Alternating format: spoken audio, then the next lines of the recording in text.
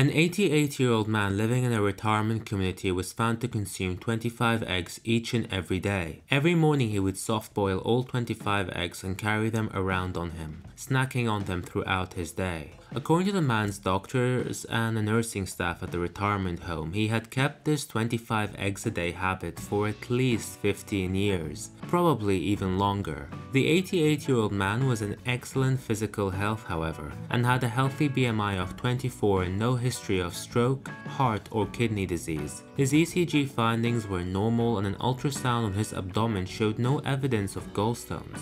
His only complaints seemed to be some mild constipation that and the occasional loneliness he sometimes experienced ever since his wife passed away. His doctors, to put it mildly, were very surprised to find this elderly man in such excellent physical health, despite his habit of consuming 25 cholesterol-laden eggs for the best part of 15 years. But the surprises were not over yet. The elderly man was also found to have completely normal blood cholesterol levels. And this was pretty shocking because the year was 1991 and these findings, well, they went against everything doctors, scientists and the general public believed about cholesterol back then. Back then, the idea was that eggs, being one of the richest sources of cholesterol out there, were bad for you because of their cholesterol content, each egg yolk containing roughly 200 milligrams of cholesterol. And for the majority of the past 40 years, it was assumed that the more cholesterol you ate, the higher your blood cholesterol levels would be. It was also known that having elevated levels of blood cholesterol significantly increased your risk of developing atherosclerosis and heart disease, a major cause of death accounting for 1 in every 4 deaths in the United States, or 610,000 lives each year.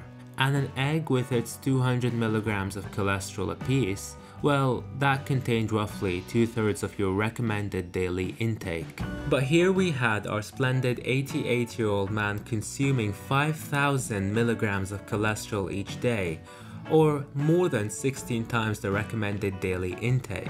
Yet this 88 year old man was in excellent physical health with no history of stroke, heart or kidney disease, and what's more he also had completely normal blood cholesterol levels. I wonder why that could be.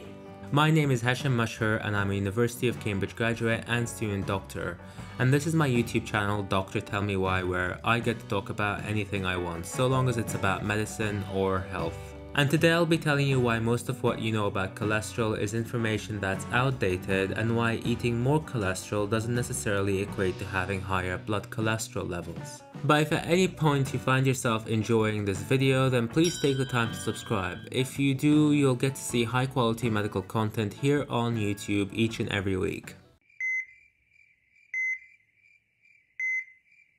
The truth is, dietary cholesterol, or the cholesterol you consume as a part of your diet, only makes about 25% of your blood or serum cholesterol. Hence, the vast majority of cholesterol inside of you right now doesn't actually come from your diet, but is rather made right there inside of you. And research studies have shown that while there is a remarkable correlation between blood or serum cholesterol and the risk of cardiovascular disease, the connection between dietary cholesterol and cardiovascular disease is tenuous at best. That's because your body is remarkably versatile. Studies using animal models and human subjects have shown that the more dietary cholesterol you consume, the less cholesterol your body makes endogenously. This means that for most people, consuming less or more dietary cholesterol only leads to insignificantly small changes in blood or serum cholesterol. Your body compensates for your increased appetite for cholesterol by suppressing the production, the endogenous production of cholesterol,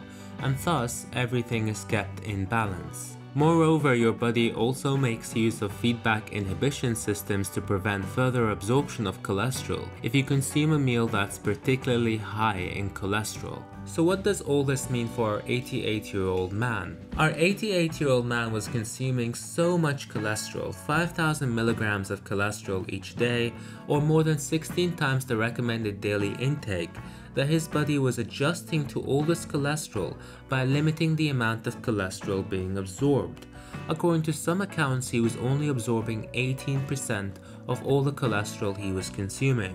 We also now believe that the endogenous production of cholesterol was also probably limited, severely limited in our 88 year old man, which explains why he was able to maintain a normal blood cholesterol level despite his 25 eggs a day habit.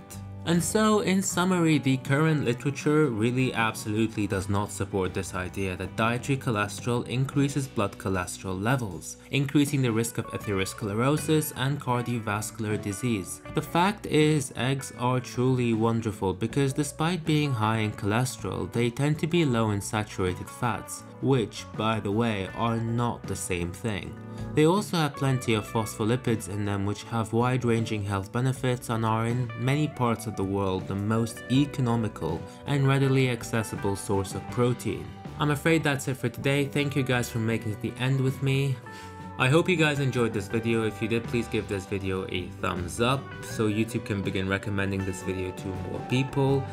If you really love this video then please subscribe for more great quality content just like this. If you subscribe I promise to tell you about the most fascinating medical conditions, present you the latest groundbreaking medical research and give you top tips on living a healthier and well balanced life. Love you all to bits and see you all next Saturday.